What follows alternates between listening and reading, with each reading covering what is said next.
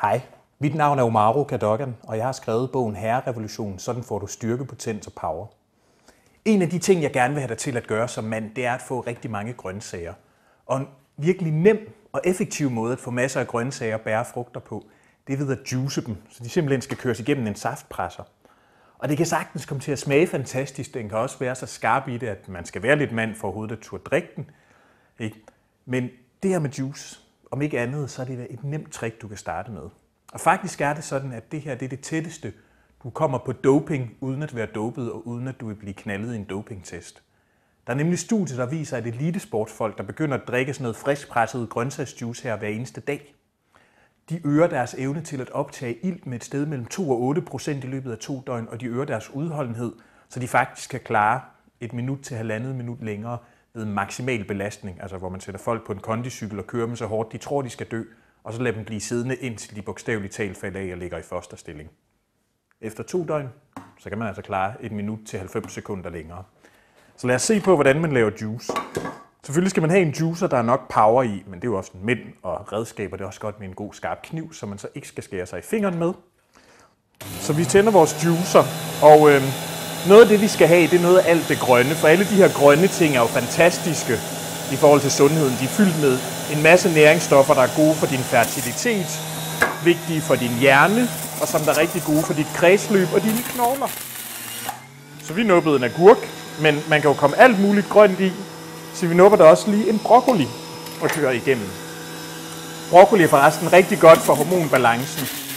Så hvis man får masser af broccoli, enten juicet eller på andre måder, flere gange om ugen, så øger det evnen til at nedbryde sådan nogle hvad hedder det, østrogenlignende miljøgifte, så man altså får mere manpower og mindre bryster på sig selv.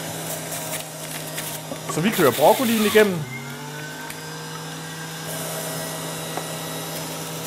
Sådan der.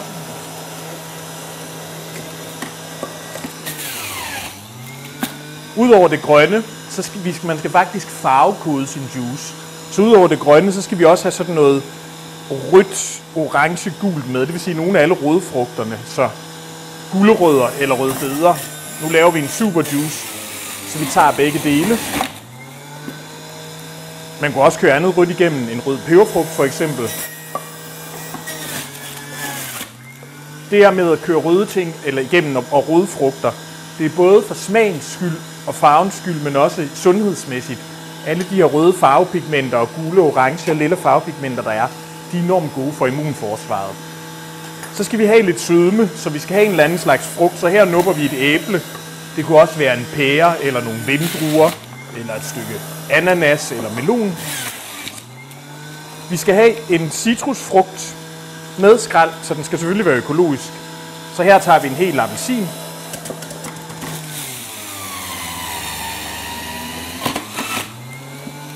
Og så skal vi også have noget ingefær som det aller sidste. Det er nemlig både godt for smagen og også sundhedsmæssigt. Jeg fik faktisk et læserbrev en gang, der havde skrevet en artikel om ingefær i politikken, fra et ældre ægtepar, der sagde tak, fordi vi ikke skal have Viagra længere. Det var fordi, de var begyndt på masser af ingefær. Så her har vi vores super power juice, som vi selvfølgelig lige skal have et glas af. Så vi stiller den her, så drypper det sidste hen. Hvis du drikker en to-tre glas af sådan noget power her hver dag som mand eller kvinde for den sags skyld, så kommer du til at få mere energi, mere lys i pæren, dine knogler bliver stærkere, alle de der hormonforstyrrende stoffer, dem bliver du mindre plaget af, og din potens og dit libido bliver bedre. Skål.